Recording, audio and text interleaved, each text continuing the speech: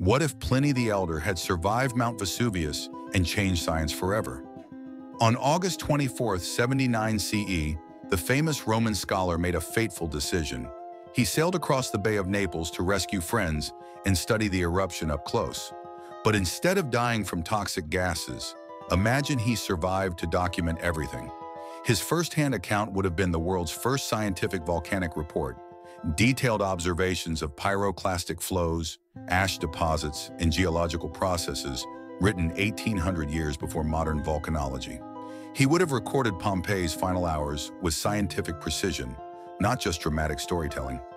His expanded natural history would have become the foundation for understanding volcanoes. This could have sparked the scientific revolution over a millennium early. Future volcanic disasters might have been prevented through better knowledge. Instead, his nephew's second-hand letter became the famous account we know today. But Pliny's direct scientific observations would have been infinitely more valuable to humanity. One man's survival could have accelerated human understanding by a thousand years.